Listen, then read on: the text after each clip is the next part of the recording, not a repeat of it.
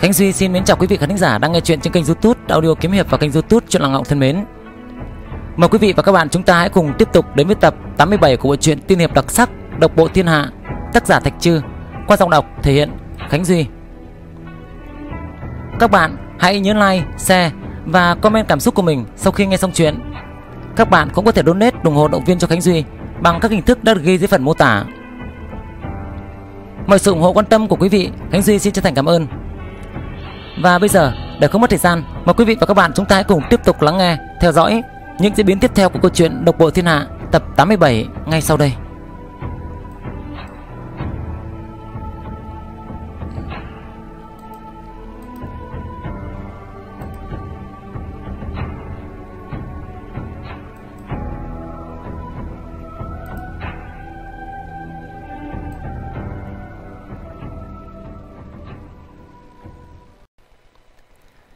Tiếp theo phần trước lại nói tình hình lúc bấy giờ đến ngay cả Diệp Phúc cũng cảm thấy sờn cả gai ốc.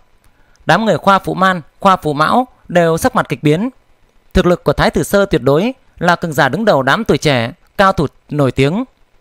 Hắn ta tu luyện đô thiên thần sát, thực lực cực kỳ mạnh, tuyệt đối là cường giả cấp bậc như Vinh Lâm. Thật không ngờ, một quyền toàn lực của hắn ta lại không thể làm cái móng vuốt kia bị thương chút nào, vẫn để cho nó bắt đi một người nữa. Sau một lúc lâu, đầu của Triệu La Hưu từ bên trong long khí bị ném xuống, thân thể đã bị gặm sạch sẽ. Triệu La Hưu chính là đại vua tam thần cảnh hóa thần kỳ, thế hệ trước của Hoàng tuyển Ma Tông. Thật không ngờ, ngay cả một chút phản kháng cũng không có. Đã bị quái vật nấp trong long khí kia ăn sạch, chỉ còn thừa lại cái đầu, chết vô cùng thê thảm. Cũng may, may là vóc dáng của ta nhỏ kìa. Tống Cao Đức thấy thế, dùng mình một cái, nhỏ giọng mà nói thầm. Còn quái vật kia muốn ăn cũng sẽ ăn kẻ cao to trước kìa. Vài tên khoa phụ nghe thấy thế, lòng lo ngay ngáy. Ở trong đám người nơi đây, chỉ có khoa phụ tộc bọn họ là cao nhất. Nếu đúng như theo lời của Tống Cao Đức nói, lần sau chỉ sợ cũng là khoa phụ tộc gặp họa. Đám người khoa phụ man, khoa phụ mão đều rút phù tăng trưởng ra, cẩn thận mà nhìn lên trời cao, chỉ thấy long khí vù một tiếng bay qua đỉnh đầu của bọn họ. Không thấy rõ rút cuộc bên trong có thứ gì. Quái vật trong long khí thật sự sẽ ăn người cao to trước hay sao? Khoa phụ Mão dùng mình một cái mà hỏi. Đại vui Khoa phụ Minh Nguyệt cao hứng phấn khởi, cười nói. Để nó ăn chúng ta, không bằng chúng ta bắt nó đến ăn trước đi. Đám người Khoa Phụ Man, Khoa Phụ Mão nghe vậy, giơ ngón cái lên cười nói. Hay, ta đã sớm đói bụng rồi, hiện giờ cho ta một con rồng, ta cũng có thể nuốt trôi được. Diệp Phúc cũng không biết nên nói cái gì. Tuy thực lực của người khoa phụ đều cực kỳ hùng mạnh, tuy nhiên quái vật trong long khí ngay cả thái tử sơ đều không ứng phó được. Chỉ sợ những khoa phụ này gặp cái móng vuốt kia cũng chỉ có thể đưa đồ ăn cho đối phương mà thôi. Hắn quay đầu nhìn lại, chỉ thấy bên ngoài thương hoàng cổ mộ, mấy ngàn tên thi binh cấm quân đại thương đang bao vây nơi đây, mấy ngàn đại vua tam thần cảnh, tam tương cảnh khi thế tuôn trào. Hơn nữa, có thêm một gã quái vật bất tử, tam bất diệt cảnh.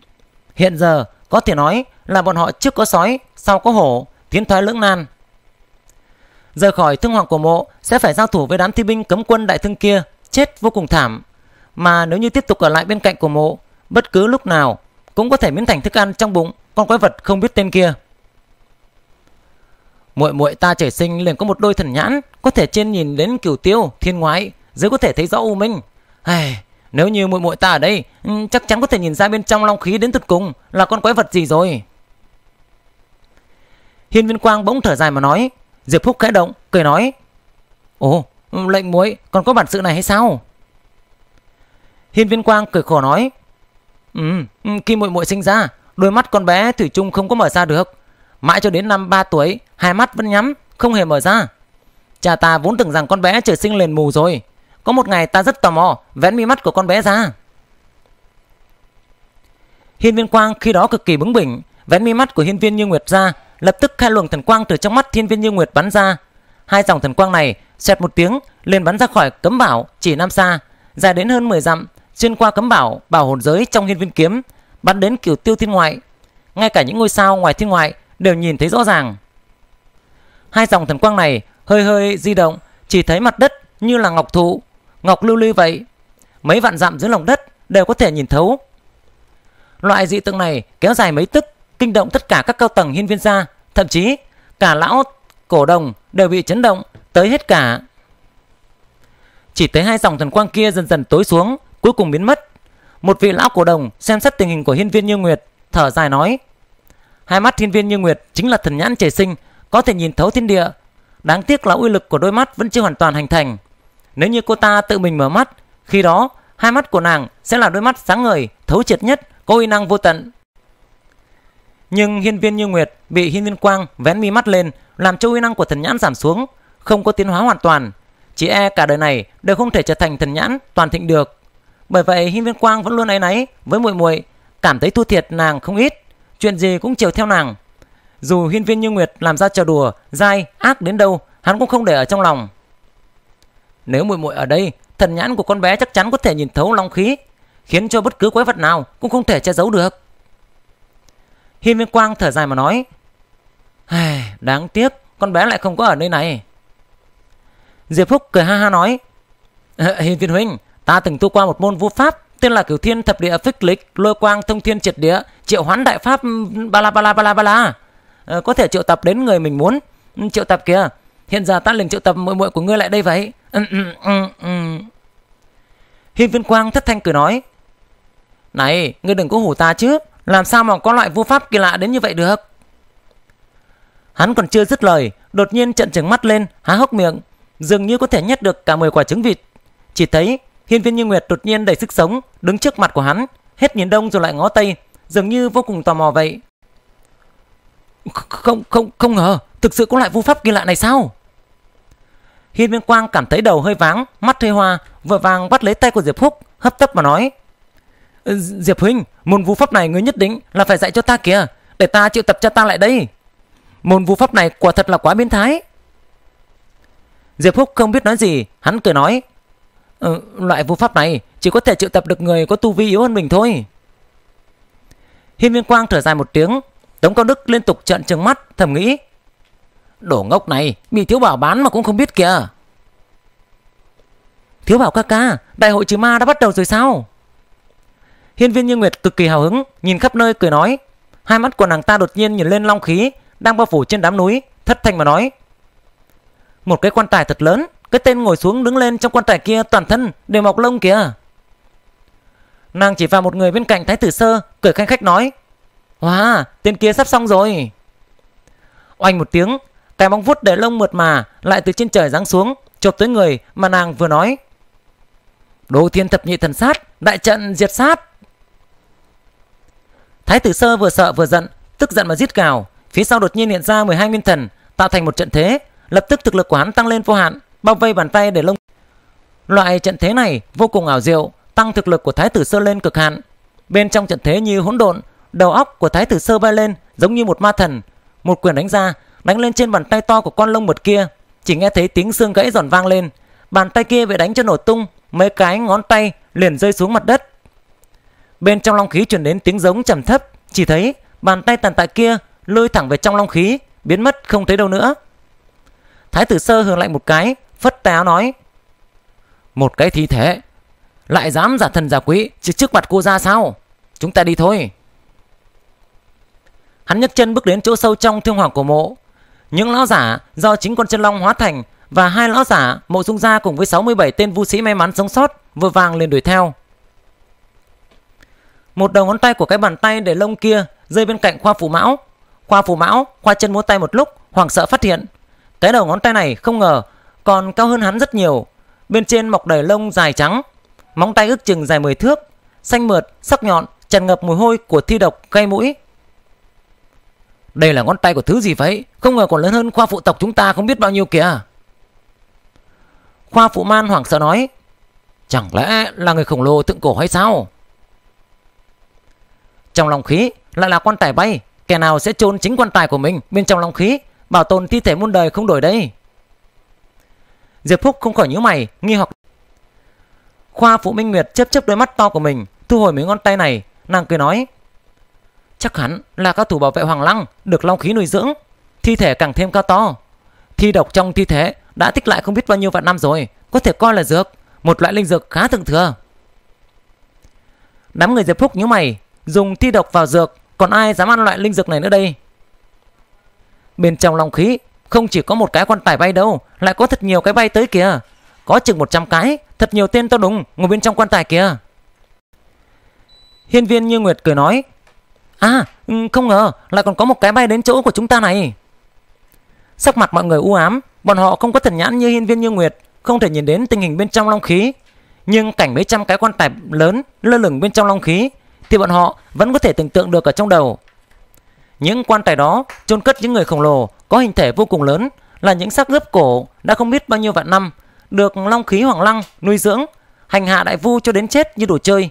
Nghĩ đến cảnh thứ để lông lá từ trong quan tài ngồi dậy liền làm cho lòng người ta phải kinh sợ.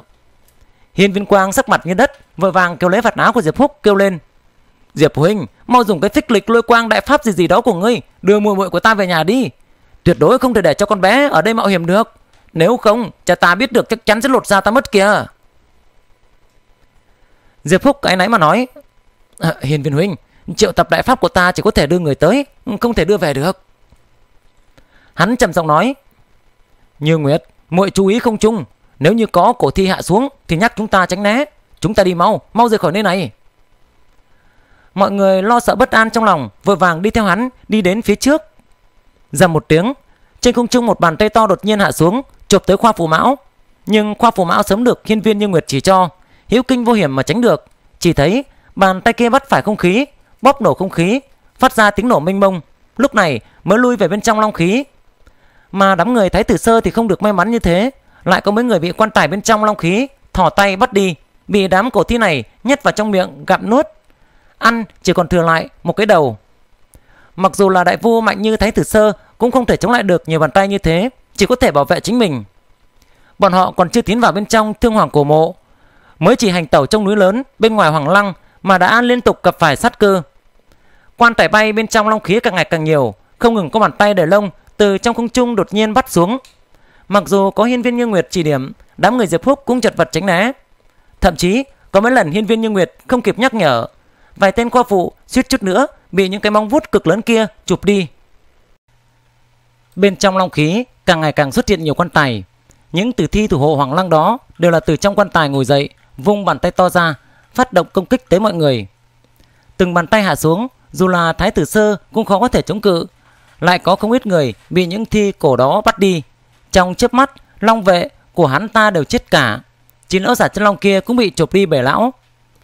Đám người Diệp Húc cũng lâm vào tuyệt cảnh, những bàn tay thỏ ra từ trong long khí càng ngày lại càng nhiều. Hiên viên như Nguyệt cũng không kịp nhìn, không sảnh nói cho mỗi người bàn tay cổ thi rút cuộc sẽ rơi xuống đầu của ai. Đột nhiên một bàn tay để lông mượt từ trên trời giáng xuống, bắt lấy khoa phụ Minh Nguyệt, nắm vị khoa phụ này ở trong tay, lôi thẳng vào trong long khí. Khoa Phụ Minh Nguyệt chính là đại vui của khoa phụ tộc, y thuật cao siêu, thực lực cũng cực kỳ dũng mãnh, còn hơn đám người khoa phụ mã một bậc. Nhưng lúc này, nàng bị bàn tay kia túm lấy, lại không hề có chút phản kháng nào cả. Khoa phụ chân thân. Khoa phụ man tức giận rít gào, thân hình đột nhiên càng thêm cao lớn, cầm phù tăng trượng vù một tiếng mà nện xuống.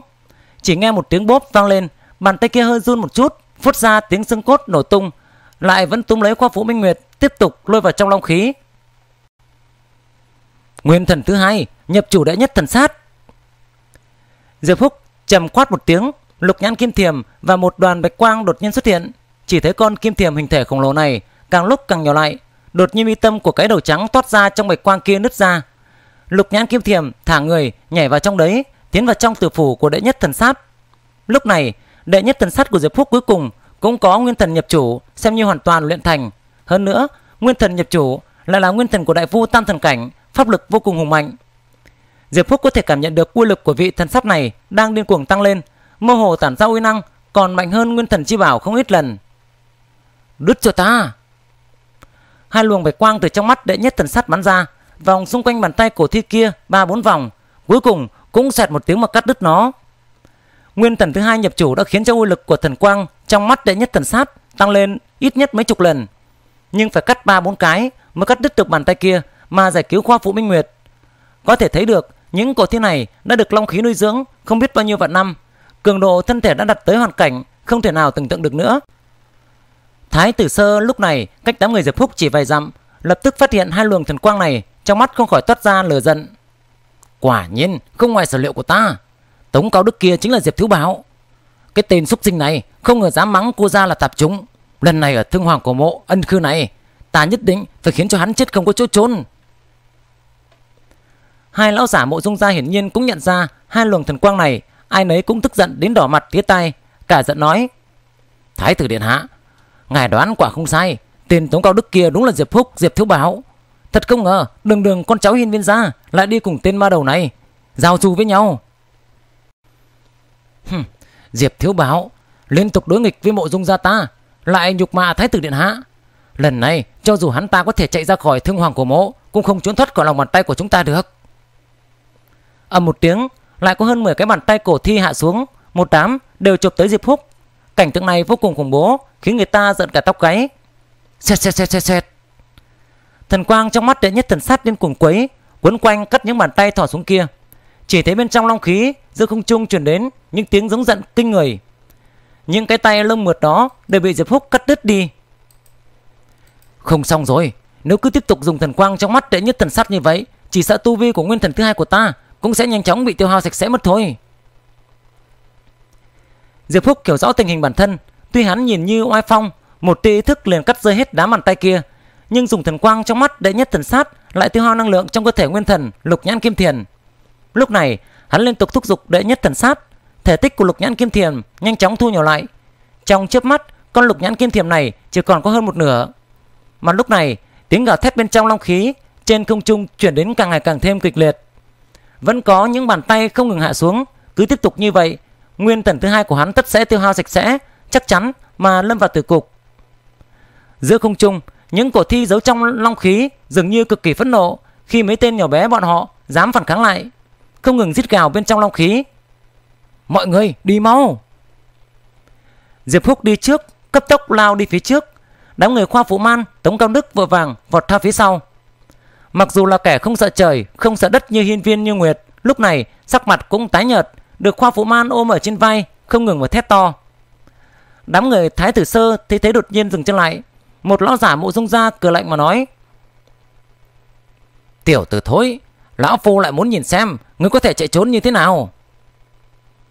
Diệp Thiếu báo Hiên Viên Quang, Khoa Phụ Man, hôm nay tất cả các ngươi đều phải chết ở chỗ này. Oanh một tiếng, trước mặt Diệp Húc, long khí đột nhiên bị phá vỡ. Một cái đầu đầy lông từ trên trời giáng xuống, hạ cái mồm to như buồn máu ra.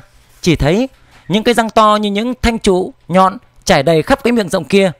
Một ngụm mà cắn tới đám người Diệp Húc. Vù một tiếng, con cổ thi này đột nhiên ra sức hút một cái, khiến đám người Diệp Húc không thể đứng vững được đều không tự chủ được bay vào trong miệng của nó. Cổ thi răng rắc một tiếng, ngậm miệng lại, thân hình hơi hơi lay động, trở lại bên trong quan tài, ngã về phía sau một cái. Chỉ nghe ầm một tiếng, chiếc quan tài kia ầm ầm đóng nắp lại. Đám người Diệp Thứ Bảo đã chết rồi sao? Đám người Thái Tử Sơ vốn đang chờ đám người Diệp Húc vọt tới trước mặt sẽ lập tức tiễn tất cả bọn họ lên đường. Thật không ngờ, cổ thi trong long khí lại từ trên trời giáng xuống, cắn nuốt đám người Diệp Húc trước bọn họ một bước không khỏi giật mình và kinh hãi. Hay, chết rất tốt, hắn chết quá nhanh. Nếu là rơi vào tay của cô ra, cô ra tất nhiên sẽ bầm tới hắn thành vạn đoạn. Chết trong miệng cổ thi quả thực, quá tiện nghi cho hắn ta rồi. Thái tử sơ cười lạnh mà nói. Điện hạ, thi thể bên trong long khí càng ngày càng nhiều, nơi đây không nên ở lâu nữa rồi. Bên trong long khí vẫn treo mấy ngàn chiếc quan tài lớn. Lúc này, đám người Diệp Phúc bị một cái quan tài lớn trong đó nuốt vào. Những quan tài khác lập tức gào thét bay đi hướng đám người Thái tử Sơ.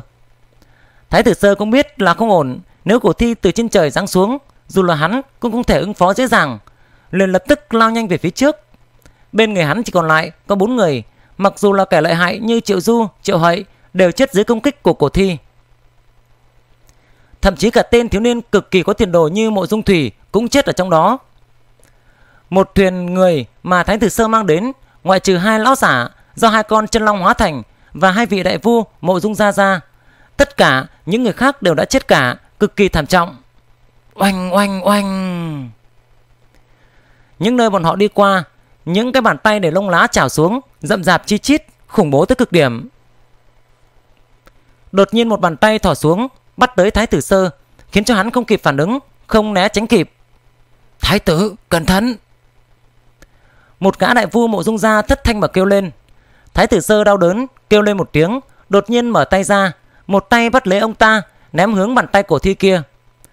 Tên cao thủ mộ dung gia kia hoàn toàn không ngờ được rằng biến cố này lại sẽ xảy ra, bị bàn tay cổ thi kia nắm lấy.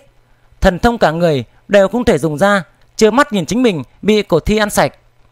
Thái tử, ngài... Một lão giả mộ dung gia khác kinh hãi thất sắc, run giọng mà nói. Thái tử sơ mắt ưng lang cố, nhìn chăm chăm vào hắn, cười lạnh mà nói. Thả phụ lòng người trong thiên hạ, không để người thiên hạ phụ cô. Nếu cô gia đã hại một gã cao thủ mộ dung gia các ngươi, như vậy, người nhất định có lòng oán hận. Thái tử, lão nô tuyệt đối không dám. Tên lão giả mộ dung gia kia vừa mới mở miệng cầu xin tha thứ. Thái tử sơ cười ha hả, nắm lấy cổ của lão, ngạo nghễ mà nói. lòng người khó dò, cho dù có chút cơ hội phản loạn, cô ra đều khó có thể ngủ yên được. Mộ dung học, xin lỗi người vậy. Răng rắc một tiếng, hắn vặn đầu lão giả kia, vang một tiếng, làm đầu và thân thể của lão giả kia đều vỡ nát, lập tức bắt lấy nguyên thần, phong ấn lại, gào thét phóng đi phía trước. Mà vào lúc này, bên trong cơ thể cổ thi, Diệp Phúc thật cẩn thận đứng dậy, mũi chợt ngửi được những mùi tanh tưởi truyền đến, vội vàng liền ngưng thở. Hắn khẽ động tâm niệm, một vòng mặt trời giống như nguyên thai hiện ra ở sau lưng, chiếu bốn phía sáng như ban ngày vậy. Chúng ta chưa chết sao? Ừ, chưa chết sao? Tống Cao Đức vừa mừng vừa sợ, vội vàng xoay người bò dậy. Đám người Hiên Viên Quang, Khoa Phụ Man cũng vội vàng đứng lên. Hiên Viên Quang thấy muội muội không sao, nhẹ nhàng thở ra, vội vàng kéo Hiên Viên Như Nguyệt lại bảo vệ ở sau người. Mọi người đánh giá bốn phía, chỉ thấy trước mặt bọn họ là một thông đạo tối mịt, sâu không thấy đáy. Bên trong chuyển đến từng trận âm phong, có tiếng gào thét. Thông đạo này hẳn là ít thầu của cổ thi, xem ra chúng ta đang ở trong cổ họng của nó. Không bị răng của nó cắn chúng Thật sự là may mắn mà Khoa phụ man dơ phủ tăng trượng lên Ra sức có ít thầu của cổ thi chỉ thấy ánh lửa văng khắp nơi Cổ thi không bị tổn hại gì Ngược lại chấn cho cánh tay của hắn rung lên Không khỏi lo lắng mà nói. Cái cổ thi này Được long khí nuôi dưỡng không biết bao nhiêu năm tháng Bao nhiêu vạn năm rồi Giá thu thiệt dày. Dựa vào phù tăng trưởng của ta Không thể đánh vỡ thân thể của nó được. Chúng ta phải làm sao Thì mới có thể đi ra ngoài được đây? Diệp Phúc đi dọc theo thông đạo lên phía trước, trầm giọng nói: "Kim tinh thần quang của ta có thể phá vỡ thân thể của nó, nhưng tiêu hao lại quá lớn, mà cho dù có thể phá vỡ thân thể của nó thì có thể làm gì được đây? Rời khỏi cái quan tài này, chẳng phải sẽ phải đối mặt với nhiều sắc cướp khác vây công hay sao? Cho nên chúng ta cần bàn bạc kỹ hơn, tìm một con đường vẹn toàn kìa." Mọi người đều đuổi theo hắn, chỉ thấy không ngờ trong huyết thộc cổ thi này lại mọc ra không ít cỏ cây trong hoàn cảnh ác liệt như vậy mà vẫn sinh trưởng khỏe mạnh. Bọn họ đi được một lát cuối cùng cũng đi đến cuối thông đạo, chỉ thấy cuối thông đạo mọc lên một đóa hoa tươi rất xinh đẹp, tản ra nồng đậm hương khí, làm cho người ta hoàn toàn không dự đoán được. Đóa hoa này to chừng một cái chậu gỗ, nhiều màu sắc sặc sỡ, vừa nhìn liền biết là độc thảo sinh trưởng ở nơi này, dày đặc thi độc. Ồ, thi dụ ma hoa. Khoa Phụ Minh Nguyệt vừa mừng vừa sợ, vừa vàng chạy đến, cẩn thận hái xuống, Mặt mày của nàng hớn hở nói Không ngờ là một gốc thi dụ ma hoa đã sống mấy vạn năm Dược lực cực kỳ mạnh mẽ Lần này ta có thể phối xứng mấy thứ thuốc tốt rồi. Linh lực tuyệt đối vô cùng thừa thãi Cực kỳ bổ dưỡng kìa. Diệp Phúc không khỏi lắc đầu Bọn họ tiếp tục đi về phía trước Cuối cùng đi đến một hồ nước. Nơi đây hẳn là dạ dày của cổ thi. Nhưng khối xác cướp này hàng năm không ăn uống gì. Dạ dày nó hấp thu dư thừa long khí Ngưng tụ thành một hồ nước Trong đó. Trên mặt nước những con kim long nho nhỏ bơi qua bơi lại, ước chừng có 100 con, mỗi một con đều tương đương với vu sĩ nguyên thai kỳ. Những con tiểu kim long đó thấy mọi người cũng không hoảng sợ, là còn gào thét đánh tới, dương nanh múa vuốt, định ăn hết tất cả bọn họ. Muốn chết sao? Diệp Phúc khẽ động tâm niệm, kiều đỉnh bay ra, chấn áp trên không, thu những con tiểu kim long đó vào trong đỉnh mà luyện hóa, nâng cao uy năng của đỉnh. Diệp Thiếu Bảo, người quá độc ác rồi. Lúc này bên trong cơ thể của Thi đột nhiên chuyển đến một giọng nói Cười ha hả mà nói không ngờ những vật nhỏ đó cũng không buông tha Diệp Phúc theo tính nhìn lại Chỉ thấy khổng chiêu yêu thánh nhanh nhẹn mà đến Đứng ở một chỗ khác xa xa Ở bên kia hồ nước Một đám tiểu kim long sinh sống trong cơ thể của Thi Vốn đã là một chuyện cực kỳ kỳ quái Nay lại nhảy ra một người Khiến cho đám người khoa phụ man, khoa phụ sơn Chật chật mà lấy làm kỳ lạ Hóa ra là khổng chiêu yêu thánh Diệp Phúc cũng rất tò mò khi khổng chiêu yêu thánh lại xuất hiện ở chỗ này. Hắn cười nói. Xem ra khổng huynh đã nhiều ngày sống khá dễ dễ chịu rồi. Không ngờ lại chạy đến trong thi thể thủ vệ Hoàng Lăng khoái hoạt như vậy. Khổng chiêu yêu thánh mỉm cười có vẻ khá bình tĩnh hạ giọng mà nói. Diệp thiếu báo xem ra người cũng không phải chỉ có hư danh lại có thể biết được đường tắt để đi vào Hoàng Lăng. Không tệ. Ta chui vào trong cơ thể cái cổ thi này sớm hơn các ngươi mấy ngày. Chính là để đợi nó điều khiển quan tài về tổ. Sau đó thuận lợi, không chút phiêu lưu tiến vào Hoàng Lăng kìa. Gã cười nói. Tiến vào Hoàng Lăng có hai cách. Một là chống đỡ công kích của đám cổ thi đó đi vào. Hai chính là nấp trong cơ thể của cổ thi để nó mang ngươi vào. Diệp Thiếu Bảo, ta biết được lối tắt này từ đại vu sư huynh, thiên bằng đại thánh của ta. Ngươi làm sao mà biết được vậy? Ta ư, ta vốn cũng không biết đâu. Thế nhưng ngươi vừa nói cho ta biết, ta liền biết thôi. Diệp Phúc mặt mày hớn hở, tán thưởng mà nói. Thật không ngờ, lại có một con đường tắt như vậy để tiến vào Hoàng Lăng. Thiên bằng đại thánh quả nhiên là một nhân vật rất giỏi. Sắc mặt khổng chiêu yêu thánh có chút khó coi. Gã cũng là người thông minh, nghe được lời này của Diệp Phúc, lập tức biết được đám người Diệp Phúc thật sự không biết đường tắt tiến vào Hoàng Lăng, mà đánh bậy đánh bạ bị cái cổ thi này nuốt vào trong cơ thể. Kết quả lại từ trong miệng của gã biết được cách tiến vào Hoàng Lăng như thế nào. Đám người hiên viên quang khoa phụ man nhẹ nhàng lên thở ra, lướt nhau một cái cười nói. Lúc trước chúng ta nhiều lần vào sinh ra tử, gần như phải chết trong tay đám cổ thi này. Thật không ngờ còn có nhiều chiêu số lợi hại đến như vậy. Hung quang trong mắt cổng chư thánh lóe ra, trong lòng sắt khí đại động, sau lưng năm đạo diệt tuyệt thần quang dần dần hiện ra, càng ngày càng rõ, mơ hồ rung rung. Diệp thiếu báo ta trốn trong cơ thể cổ thi. Cái quan tài này vốn đã trôi vào trong hoàng lăng, nhưng các ngươi xuất hiện khiến cho cái quan tài này lập tức quay lại, làm mất đi không ít thời gian của ta. Nếu không thì ta đã sớm tiến vào bên trong hoàng lăng rồi.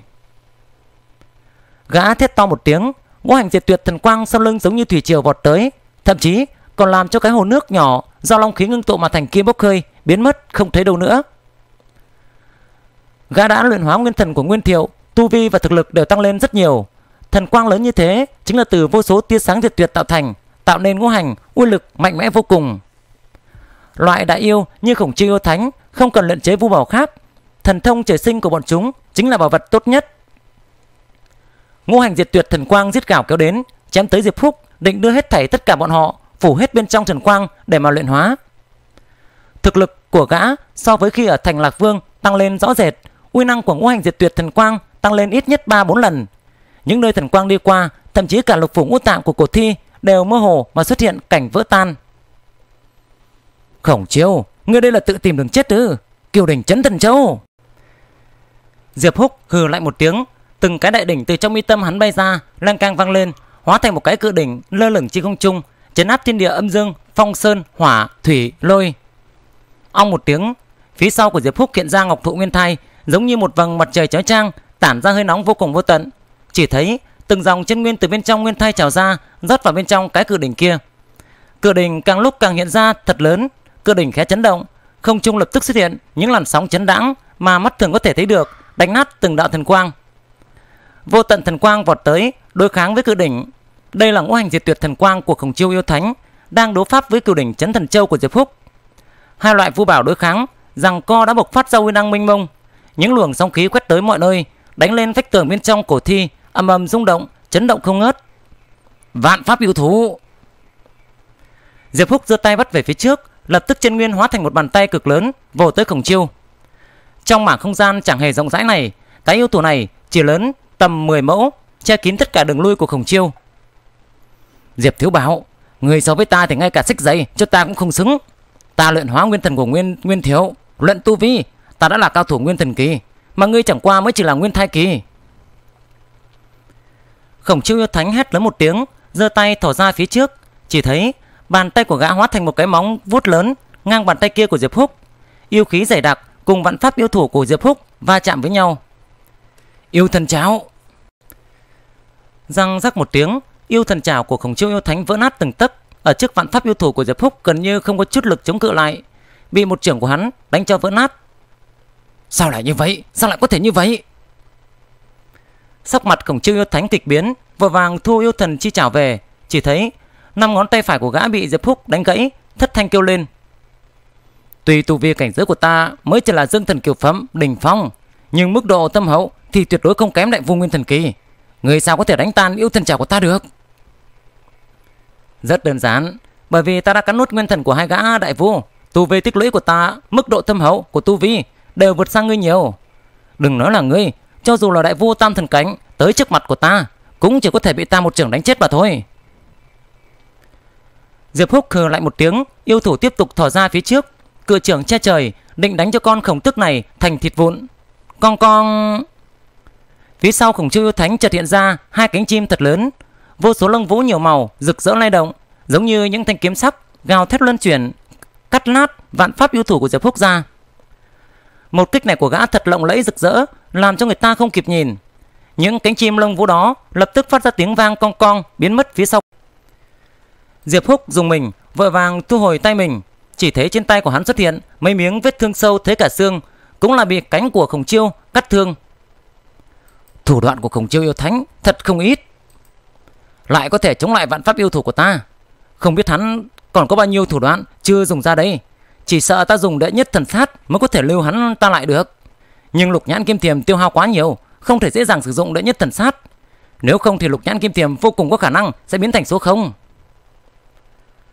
Kiều đỉnh chấn thần châu và ngũ hành diệt tuyệt thần quang vẫn đối kháng trên không trung như trước, tản ra dao động vô cùng mãnh liệt, chấn cho nội tạng cổ thi bong bong ra từng mảng. Lại vào lúc này, Diệp Phúc chỉ cảm thấy Di La Thiên Địa Tháp của mình chật nhẹ, trong lòng lập tức mừng rỡ. Nguyên thần thứ hai của vệ chăn sư tôn cuối cùng cũng bị Phượng cô nương luyện hóa rồi. Hắn thiết giải không ngừng, tóc đen đón gió phất phới, sau lưng đột nhiên hiện ra nguyên thần thứ hai, đào ngột của vệ chăn. Mặt người, móng hổ, răng heo, giận dữ gầm lên, tiếng gầm gừ chấn qua, đãng lại trong cơ thể của thi, khiến cho đám người hiên viên quang đầu váng mắt hoa, đứng không ổn định được. Con ác thú nguyên thần này so với nguyên thần Ngụy Hiên còn mạnh hơn, lớn hơn rất nhiều. Hiện giờ bị Diệp Phúc luyện hóa thành nguyên thần của mình, khiến hắn cảm thấy pháp lực của mình lại tăng lên vô hạn. Oanh! Oanh oanh oanh oanh oanh! Đào Ngột đột nhiên nhảy vào bên trong đại đỉnh, lập tức tăng uy lực của cửu đỉnh chấn thần châu lên mấy chục lần. Chỉ thấy đại đỉnh đột nhiên trở nên vô cùng lớn, vù một tiếng liền thu tất cả ngũ hành diệt tuyệt thần quang vào bên trong đỉnh. Uy lực của ngũ hành diệt tuyệt thần quang của khổng chiêu yêu thánh cực kỳ lớn, nhưng lúc này năm đạo thần quang lại bị kiểu đỉnh chấn thần châu của diệp phúc chấn áp, trở lại thành năm cái linh mao dài như kiếm vậy. Khổng tiểu điếu, ngươi liên tục tính hất cất lên đầu của ta, còn nói ta sách rẻ cho ngươi cũng không xứng sao? Diệp Phúc cười ha ha, lại thi triển vạn pháp yêu thủ, chộp tới khổng chiêu yêu thánh. Uy lực vạn pháp yêu thủ của hắn đã tăng lên mấy chục lần, một trường đánh ra, không gian trong bụng cổ thi đều bị xé rách, xuất hiện cảnh tượng không gian bị sụp đổ. Hiện giờ, ta sẽ cho ngươi xem thực lực ở trạng thái toàn thịnh của ta, xem ai xích rẻ cho ai đấy. Khổng chư thánh sắc mặt kịch biến, không kịp thu hồi ngũ hành diệt tuyệt thần quang, vội vàng phóng người lên, đôi cánh mở ra, điên cuồng cắt tới vách tường trong bụng cổ thi. Chỉ thấy vô số luồng sáng đầy đủ màu sắc rực rỡ hiện lên, vách tường trong bụng cổ thi bị gã cắt ra một lỗ lớn. Khổng chư thánh cao giọng giết gào, hóa thành một con khổng tức to lớn, vài dặm, hai cánh mở ra, định bỏ trốn qua cái lỗ kia. Còn muốn chạy sao? Muộn rồi. Diệp Phúc thò tay ra, phạm vi vài dặm, từ cái lỗ to trên khoang bụng cổ thi vồ tới, nhanh chóng đuổi theo khổng chiêu. Bàn tay to che trời, khủng bố đến cực điểm. Khổng chiêu dư quang thoáng thấy năm ngón tay đỏ như thịt từ bên người bay bay qua. Tốc độ công kích của Diệp Phúc rõ ràng vượt qua tốc độ phi hành của gã. Sắp thấy mình chuẩn bị bị hắn ta bóp ở trong lòng bàn tay, không khỏi thất kinh, hoàn toàn đã không còn phong độ vốn có nữa rồi. Đại sư huynh, huynh còn không có ra tay sao? Chỉ thấy mi tâm của con khổng tức to lớn này đột nhiên nứt ra, từ bên trong tỏ ra một cái móng vuốt lớn, ầm ầm va chạm với vạn pháp lưu thủ của Diệp Phúc, đánh cho tan tác vạn pháp yêu thủ kia. Diệp Thiếu Bảo, không ngờ ngươi cũng dám giết chết thất đệ của ta sao? Khổng chiêu yêu thánh quay đầu lại, chỉ thấy một con chim thiên bằng vô cùng nhỏ đứng ở mi tâm của gã, lạnh lùng mà nói: "Nếu không phải tứ sư đệ bị hiên viên vô khuyết đánh cho trọng thương, lúc này ta đang chữa thương cho hắn, không rảnh tự mình tiến đến, nếu không ta đã tất sẽ giết ngươi rồi." Thiên bằng đại thánh, thừa dịp ngươi bánh lấy mạng ngươi, đạo lý này ngươi chẳng lẽ không hiểu hay sao? Diệp Phúc cười ha ha, phi thân dựng lên, tóc đen bay múa. giống như ma thần, hắn phóng thẳng hướng cổng chư thánh. Vù vù vù vù. Trên đỉnh đầu của hắn hiện ra Zila Thiên Địa Tháp. Tòa bảo tháp này được hắn tế lên, tản ra uy năng còn mạnh hơn cả kiều đỉnh chấn thần châu, chấn áp tới khổng chư yêu thánh và thiên bằng đại thánh. Tiểu bối, ngươi tự tìm chết sao? Thiên bằng đại thánh nổi giận quát một tiếng, điềm nhiên mà nói: "Chờ ta chữa khỏi thương thế cho tứ sư đệ rồi, nhất định sẽ tự tìm ngươi, ra tay lấy cái mạng chó của ngươi. Thất đệ, đi mau. Tia phân thân này của ta sẽ bảo vệ đệ xuyên qua long khí." Khổng chiêu yêu thánh gào thét bay đi, chỉ thấy trong miệng con chim thiên bằng kia phun ra một luồng tinh quang phá vỡ quan tài, bọc lấy khổng chiêu yêu thánh bay vào trong long khí, bảo vệ cho gã không bị long khí đè chết, biến mất không thấy đâu nữa. Diệp Phúc bay ra khỏi cơ thể cổ thi, chỉ thấy tia phân thân của thiên bằng đại thánh và khổng Chư yêu thánh đã bay đi không còn thấy bóng dáng tăm hơi. Chỗ quan tài bị phá vỡ kia, long khí giống như thác nước tuôn trào, trầm trọng đến vô cùng. Bao! Cổ thi nằm trong quan tài, nhìn thấy hắn, nổi giận giống lên, đang định để quan tài ra ngồi dậy. Diệp húc hừ lạnh một tiếng, bàn tay to đánh xuống, pang một tiếng nhỏ vang lên, đánh vỡ nát đầu của nó. Đào Ngột được hắn luyện thành nguyên thần của mình, khiến cho thực lực của hắn tăng vọt lên mấy chục lần. Đánh chết cổ thi quả thật không cần tốn sức là bao, một chiêu liền đánh vỡ nát cái đầu cứng rắn nhất của cái cổ thi này.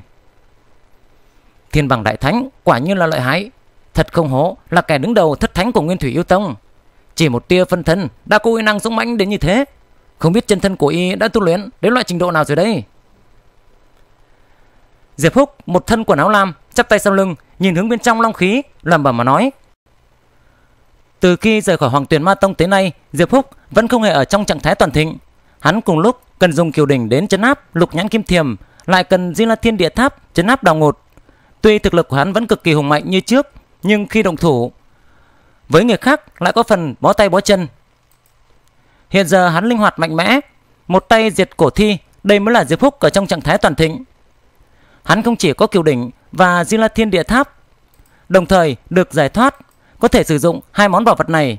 Hơn nữa, được hai đại nguyên thần là đào ngột và lục nhãn kim thiềm gia trì, khiến thực lực của hắn trong chớp mắt tăng lên đến mấy chục lần, có thể thoải mái đánh cổng chiêu, thậm chí bước lui một tia phân thân của thiên bằng đại thánh. Thực lực của hắn giờ phút này đã mạnh hoàn toàn, đã đến một độ cao mới, có thể phân thắng thua với những nhân vật bá chủ trẻ tuổi như Thái Tử Sơ hay Đặng Nguyên Giác.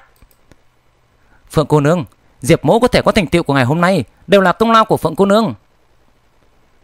Diệp Húc mời Phượng Yên Nhu ra khỏi Diêu La Thiên Địa Tháp, vá lại đến đất, hết sức chân thành mà nói. Phượng Yên Nhu chân tay luống cuống, đỏ mặt lên mà đáp lễ lại. Đám người hiên viên quang khoa phủ sơn cũng bay ra khỏi cơ thể của Thi. Bọn họ vừa mới đi ra liền cảm thấy áp lực đột nhiên trở nên vô cùng nặng, gần như không bay lên nổi. Những long khí đó, ngay cả thuyền rồng của Thái Tử Sơ đều có thể đâm nát, đụng chết cao thủ mãn thuyền. Chỉ có vài người chạy thoát được. Có thể thấy long khí thủ hộ Hoàng Lăng nặng đến mức bọn họ không thể tưởng tượng được. Lúc này, cổ thi đã bị một trưởng của Diệp Húc đánh chết, mà cái quan tài cực lớn này cũng đã vỡ ra một cái động lớn. Long khí không ngừng rót vào trong quan tài. Nếu như long khí rót để chiếc quan tài này, bọn họ, những người tu vi thấp, nhất là đám người hiên viên, như Nguyệt, Khoa Phụ Mão sẽ trực tiếp bị long khí để chết. Diệp Húc tế Diêu La Thiên Địa Tháp lên, chỉ thấy tòa bảo tháp này cao mấy trượng, lơ lửng ở trên đỉnh đầu của hắn, không ngừng bung xuống từng làn sóng gợn, quét long khí trong phạm vi trăm mét quanh thân thể của hắn ra. Ồ, long khí nơi này vô cùng vô tận, là một thứ cực tốt, có chút tương tự với trúc long khí của hiên viên gia ta. Hiên viên Như Nguyệt vui vẻ nói, loại long khí này, bất kể là dùng để luyện chế vũ bảo hay là tự mình hấp thu luyện hóa, đều là bảo vật rất tốt kìa, có được công hiệu không tưởng. Trong hiên viên gia ta cũng có không ít người dùng long khí mà tu luyện, có được quy lực rất mạnh. Nàng lấy ra một kiện vua bảo chiến giáo của mình, chính là một tấm côn ngô kính, tự mình bắt lấy một tia long khí, đánh vào bên trong côn ngô kính. Chỉ thấy tấm bảo kính này lập tức có thêm một con du long không ngừng bơi qua bơi lại ở trong đấy. Hiên viên Như Nguyệt quát một tiếng, lấy nguyên đan tế khởi côn ngô kính, chỉ thấy một đạo kính quang bắn ra, dài hơn 10 dặm. Con du long trong kính quang dương nanh múa vuốt vồ đến, hung ác tới cực điểm. Côn ngô kính của ta, uy lực tăng lên ít nhất là gần gấp hai lần kìa. Nàng ta vui sướng vạn phần, cười khanh khách mà nói. Đám người khoa phụ man cũng nhìn ra uy lực của món vô bảo chấn giáo của nàng quả thật tăng lên không ít, không khỏi mê tít, lập tức vươn tay ra bắt lấy long khí. đánh nhốt vào trong phủ tăng trưởng. Tu vi bọn họ đều cao hơn hiên viên như nguyệt rất nhiều, rút lấy long khí lại càng vô biên. Chỉ thấy thể tích của phù tăng trưởng càng lúc càng lớn, biến thành một cây cự mộc. Phía trên thân trưởng trong chớp mắt liền sinh ra chi chít long lân, biến thành những món dị bảo. Khoa phụ Minh Nguyệt thì tế ra một cái nồi sắt lớn, bên trên là cái nắp do gỗ phủ tang khắc thành. Không ngừng rút ra long khí, thu vào bên trong nồi, lấy nắp gỗ chấn áp, tránh cho long khí thoát ra ngoài. Hiên Viên Quang thì lại tế ra một món vu bảo hình một con rồng, trong miệng ngậm nến, hình như là bản thu nhỏ của trúc long, tên là trúc long giản. Đây là thứ phòng chế do hắn dựa theo thân thể cấu tạo của trúc long mà rèn thành. Trúc long giản vừa ra, lập tức dắt đến càng nhiều long khí điên cuồng tuôn vào trong trúc long giản, khiến cho uy năng của món vũ bảo này liên tục tăng vọt lên. Trong chớp mắt, liền vượt qua cả hiên viên kiếm mà hắn luyện chế, hơn nữa uy lực vẫn đang không ngừng tăng lên. Tống Cao Đức cũng tế khởi bạch cốt yêu thành, không ngừng rút lấy long khí. Trong mắt của hắn đột nhiên chuyển vòng vòng, hắn cười nói: à, "Vừa rồi, Như Nguyệt nói loại long khí này có thể hấp thu luyện hóa, không biết ta luyện hóa long khí rồi sẽ biến thành như thế nào đây?" Hắn há mồm hút một cái, hút từng dòng long khí vào trong miệng. Sau một lúc lâu, từ trong yết hầu của Tống Cao Đức truyền đến tiếng thống khổ gầm nhẹ. Mọi người lên cả kinh vội vàng nhìn lại, chỉ thấy thân hình của Tống Cao Đức càng ngày càng cao, càng ngày càng cường tráng. Trong chớp mắt, lên từ một đứa trẻ thấp bé biến lớn như người trưởng thành. Hơn nữa, thân hình của hắn còn đang không ngừng phồng lên. Dưới lớp quần áo, từng khối cơ bắp lồi lên, bên ngoài là một mảng long lân rậm rạp mọc ra. Trong chốc lát, thân hình của hắn liền to như người khoa phụ tộc vậy. Hắn phấn khích giống lên một tiếng, bên trong yết hầu truyền đến tiếng rồng ngâm. Chỉ thấy xương chán của hắn mở ra, hình dạng như sừng rồng, bàn tay và móng tay đều dài, long lân chảy rộng từ mu bàn tay đến lòng bàn tay rõ ràng đã biến thành một cái long chảo. Miệng hắn rộng dữ tợn, răng cũ rụng xuống, từng cái răng rồng mới được mọc ra. Không ngờ còn có hai cái răng nanh từ trong miệng hắn thỏ ra. Không xong, lão tử sắp mọc thêm cái đuôi nữa rồi. Tống Cao Đức kinh hãi kêu lên một tiếng, chỉ nghe một tiếng khét vang lên, sau quần của hắn đột nhiên rách ra một cái đuôi rồng cùng xương mọc ra. Hắn ta hấp thu long khí, không ngờ lại biến thành quái vật giống rồng mà không phải rồng, giống như người mà lại chẳng phải người. Không ngờ long khí của Hoàng Lăng lại kỳ diệu như thế, chuyến này không tệ, không tệ rồi. Tống Cao Đức cũng không quan tâm lắm đến bộ dạng của mình, quan sát thân hình của mình từ trên xuống dưới, cực kỳ vừa lòng với thân thể hiện tại. Chỉ thấy da thịt của hắn kín đầy long lân, dưới từng cái long lân đều là có thể thấy rõ thân thể của hắn tràn đầy sức mạnh mênh mông. Hắn vận chuyển kiểu chuyển nguyên công và vạn kiếp vô lượng tâm kinh, sức chống đỡ của thân thể và sức mạnh lại điên cuồng tăng lên gần như gấp mấy lần trước đây. Chỉ là cái đuôi này hơi bị xấu xí, ảnh hưởng đến hình tượng của ta mà thôi. Tống Cao Đức khẽ động tâm niệm, cái đuôi rồng vẫy đến lắc đi xong người. Cười nịnh với hiên viên Như Nguyệt nói: ờ, "Như Nguyệt muội muội, làm sao mới có thể tiêu trừ ảnh hưởng của long khí, khôi phục hình thể ban đầu đây?" Ừ, muội cũng không biết được. Hiên viên Như Nguyệt chớp chớp mắt, lắc lắc đầu cười nói: Bà cô ơi Sao muội không nói sớm hơn vậy Thì Huỳnh cũng đâu có hỏi đâu Hiên viên như Nguyệt không hề tức giận mà nói Tống Cao Đức khóc ra nước mắt, Mở to mắt nhìn về phía hiên viên Quang. Hiên viên như Nguyệt lập tức chừng hắn một cái. Hiên viên Quang câm như hến, Không dám nói câu nào. Tống Cao Đức nhẹ nhàng thở ra thầm nghĩ. Hiên viên gia chắc chắn có tâm pháp trừ đi hiệu quả xấu của long khí. Chờ vào cô này chơi chán rồi, Thì chắc chắn sẽ truyền thụ lại cho ta thôi. À cái sắc cướp không đầu này quả thật là một món vu bảo Bảo vật rất tốt đấy. Nếu gắn đầu con vượn lông vàng kia lên thân thể của nó, Thì Tống Cao Đức lập tức động thủ Thu cái xác cướp cổ không đầu này lại Cất vào trong ngọc lâu.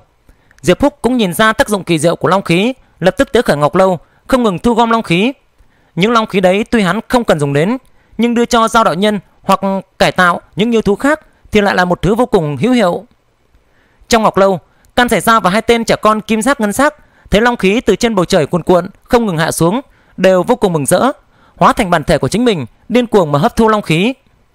Bọn chúng đều là dị chủng của loài dao, thân thể có chứa huyết mạch của dao long, nhưng huyết mạch chúng lại không tinh khiết. Khi tu luyện đến nguyên đan kỳ thì tỷ lệ hóa dao thành công sẽ rất thấp. Nguyên thần kỳ thì tỷ lệ hóa rồng gần như là không có. Nhưng lúc này đây, bọn chúng hấp thu được long khí dồi dào, lập tức thân hình bắt đầu tiến hóa hướng chân long huyết thống càng thêm tinh thuần, có tư chất tu luyện thành chân long, luyện thành nguyên thần. Không gian vẫn bỏ trống của tầng thứ ba Ngọc Lâu của Diệp Phúc lúc này rốt cuộc cũng đã có tác dụng. Những long khí đó ngoại trừ một phần nuôi nấng can sẻ dao, vài con dị chủng dao loại kia, những phần long khí khác đều bị hắn cất vào trong Ngọc Lâu của tầng thứ ba. Không gian tầng thứ ba Ngọc Lâu cực kỳ rộng rãi, to ngang tầng thứ nhất. Nếu không phải pháp lực của hắn có hạn, kỳ thực hoàn toàn có thể thu hết sạch long khí vào. Dù vậy, Diệp Phúc vẫn thu tiếp, sớm một gì cũng sẽ đưa hết long khí này vào trong ngọc lâu của hắn, biến thành của chính mình. Đám người khác thấy thế, lập tức nhận ra đó là một ý kiến hay, đều tới khởi ngọc lâu bảo tháp, thu lấy long khí. Diệp Phúc tế Di La Thiên Địa Tháp lên, phi thân bay lên từ cử động của cái quan tài này mà bay ra, lập tức cảm thấy vô cùng áp lực. Di La Thiên Địa Tháp lập tức bị ép cho nhanh chóng thu nhỏ lại. Diệp Phúc đau đớn kêu lên một tiếng, để đào ngột nguyên thần nhập vào trong tháp. Lúc này mới giảm bớt được vài phần áp lực, lập tức tế khởi Ngọc Lâu tiếp tục thu long khí. Long khí bên ngoài vô cùng vô tận, dư thừa hơn hẳn số long khí chảy vào bên trong quan tài. Nhưng dù là như vậy, bọn họ chỉ có thể thu được một phần nhỏ của dòng long khí dài đến ngàn dặm này. So sánh dòng sông long khí cực kỳ lớn này mà nói chỉ là mũi bỏ biển mà thôi. Đằng xa truyền đến những tiếng bành bành, Diệp Húc dương mắt mà nhìn lại, chỉ thấy hắn có thể mang máng nhìn thấy những cái quan tài lớn theo long khí lái tới, tất cả quan tài đều đậy nắp lại. Những chiếc quan tài đó cực kỳ khổng lồ, giống như những chiếc thuyền lớn chạy trên sông lớn, bơi tới cùng một phương hướng. Những quan tài đó lại không bị long khí nặng chiếu này đập vốn, cũng là một món bảo bối rất tốt đấy. Diệp Phúc thầm nghĩ, chiếc quan tài dưới chân của hắn này cùng rất nhiều chiếc quan tài khác chạy vào bên trong hoàng lăng khá là vững chãi. Vù! Đám quan tài trôi qua một cái pho tượng người cực lớn, bức tượng đó điêu khắc trang phục cực kỳ kỳ lạ, không phải quần áo của vũ sĩ hiện nay mà là phong cách độc đáo của thời kỳ thượng cổ, đơn giản mà lại cổ xưa. Diệp Phúc cẩn thận đánh giá, chỉ thấy pho tượng này hẳn là điêu khắc một vị thương hoàng nào đấy của đại thương hoàng triều. Một bàn tay đặt trước ngực, nắm lấy một cái thủ ấn không biết tên. Tay kia thì đặt ở đan điền, nắm lấy một cái thủ ấn kỳ quái khác. Phía sau nó hiện ra một vầng công đức kim luân, tạo thành một hình ảnh kỳ lạ và quái dị. Nhân bảo, địa bảo, thiên bảo, nghiệp hỏa đại bảo, đại đức, đạo đức, công đức. Có tổng cộng 7 tầng kim luân, mỗi một tầng dường như chứa hảo diệu vô cùng vô tận. Không ngờ, Thương Hoàng từng tu luyện công đức kim luân, luyện bảo diệu quyết. Trong tâm Diệp Phúc kiếp sợ vạn phần, mọi người đều bay ra khỏi quan tài, cũng nhìn thấy pho tượng này không nhịn được mà tán thưởng liên tục. Đây là người đứng đầu thời kỳ phục hưng của đại thương, đế canh, nguyên danh là bàn canh, đời sau xưng là bàn hoàng. Xem ra lần này chúng ta bị cái quan tài này đưa đến mộ của đế canh rồi. Hiên Vân Quang trầm giọng mà nói, hắn xuất thân từ thế gia cho nên biết không ít về các hoàng đế của hoàng triều đại thương thượng cổ. Bàn hoàng sao? Diệp Phúc lẩm bẩm nói, chỉ thấy vị bàn hoàng kia hình dáng trang nghiêm, khuôn mặt lại dường như mang theo từ bi, thủ ấn của hắn cực kỳ kỳ lạ. Diệp Phúc dường như cảm thấy thứ hắn nắm ở trong tay không phải là thủ ấn mà là thiên địa ẩn chứa một cố đạo lý lớn lao ở trong đó. Diệp Phúc cẩn thận quan sát pho tượng này, trong lòng đột nhiên nảy lên một ý tưởng. Pho tượng bản hoàng này, tướng mạo bản hoàng so với bức tượng đồng trên La Phù Đảo có vẻ phần tương tự với nhau. La Phù Đảo, Đông Hải là lãnh địa của Vạn Pháp Yêu Vương. Diệp Phúc từng đi qua nơi đó một lần. La Phù Đảo tọa, tọa lạc ở trên đôi tay của một pho tượng đồng cực lớn. Hắn từng cảm thấy pho tượng đồng kia dường như cất giấu một loại vô pháp kỳ lạ. Đáng tiếc là mọi người trên La Phù Đảo, thậm chí cả Vạn Pháp Yêu Vương cũng không thể lĩnh ngộ ra thứ vô pháp đặc thù nào từ trong tượng đồng cả. Hiện giờ Diệp Phúc nhớ tới chuyện đó, trong lòng không khỏi nghi hoặc không thôi. Tượng đồng ở La Phù Đảo và pho tượng bàn hoàng này tướng mạo khá giống nhau.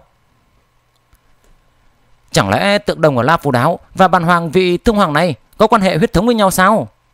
Thậm chí có thể bản thân hắn chính là một người, là một vị thượng hoàng. Có thời gian, ta nhất định phải đến La Phù Đảo một lần nữa mới được.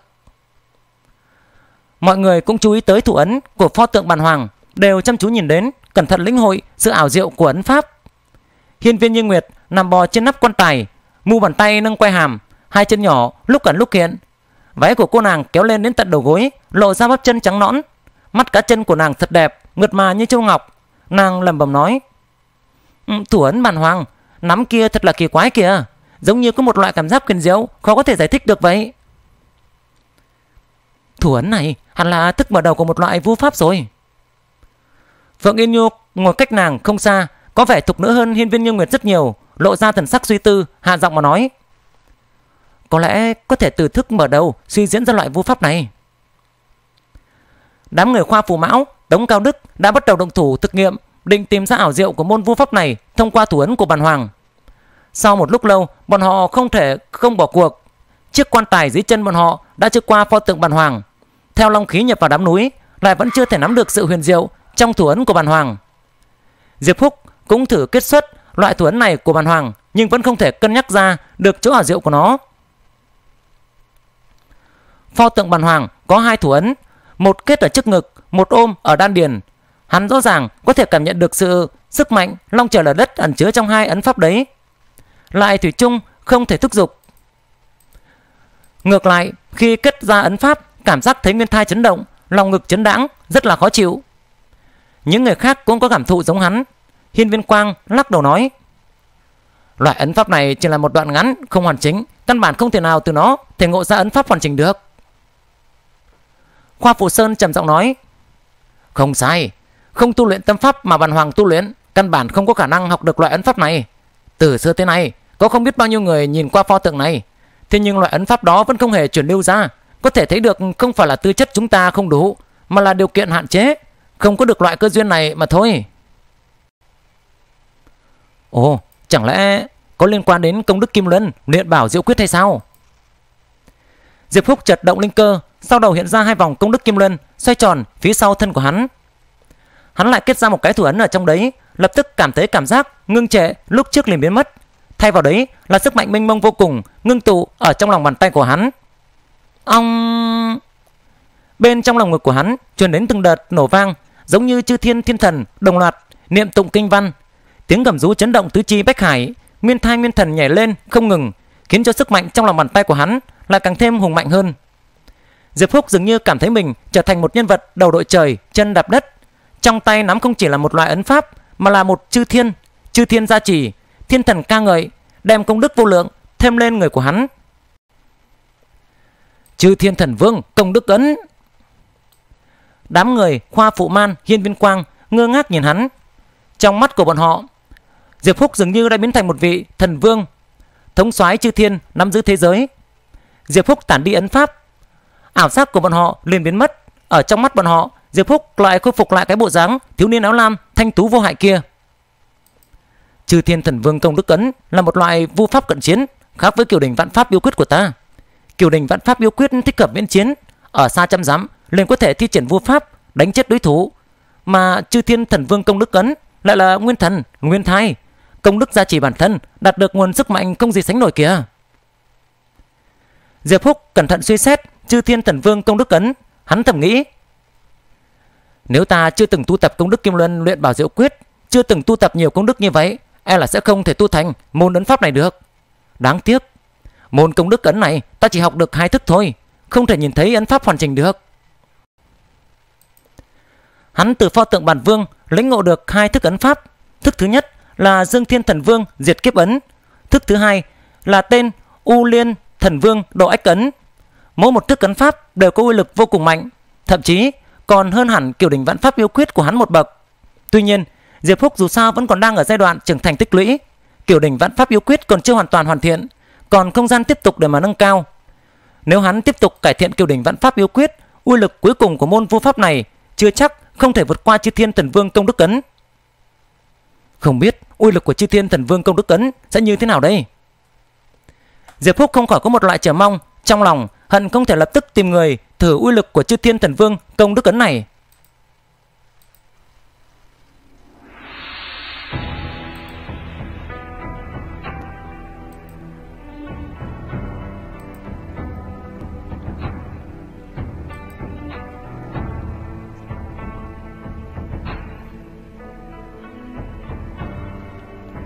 Kính thưa quý vị khán giả thân mến, tập 87 của chúng ta tạm thời kết thúc tại đây.